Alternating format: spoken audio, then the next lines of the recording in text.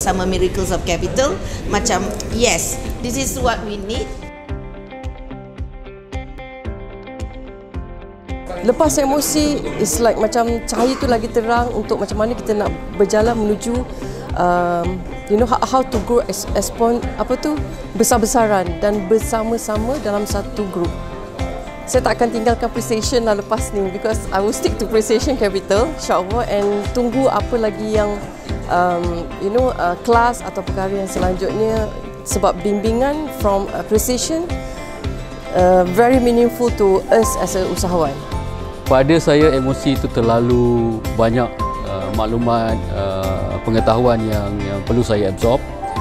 Untuk uh, siapa saja di luar sana menghadiri untuk mendalami uh, capital mechanism ni untuk hadir kepada extend dan juga POC supaya it's just like a cushion kepada sesuatu yang sangat besar uh, sangat powerful uh, and then uh, kita tidak mengalami culture shock jika kita terus pergi uh, ke MOC class.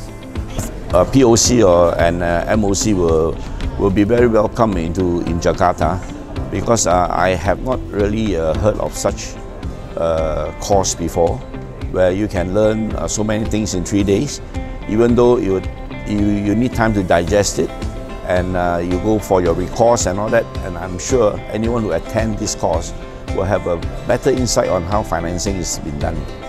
setelah dua tiga hari ini bersama Miracles of Capital macam yes this is what we need. Is the icing on the cake actually.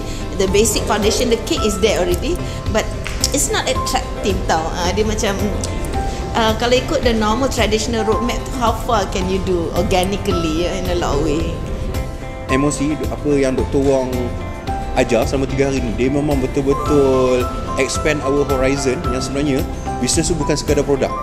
Kan? Maksudnya dia boleh expand dalam berbagai bentuk just to instead of kita fokus kepada revenue tapi dia kita fokus macam nak maximize profit. And saya rasa emosi ni memang mengajar usahawan untuk berfikir uh, the real entrepreneur yang kita tengok yang make Another it big level yes lah. make it. susah nak cari orang macam Nash ni susah so memang ibu cakap I pledge lah insyaAllah selagi ibu begini Allah lindungilah but um, I will be with him, hold his hands, and we will run together in the same fight. All, all of us.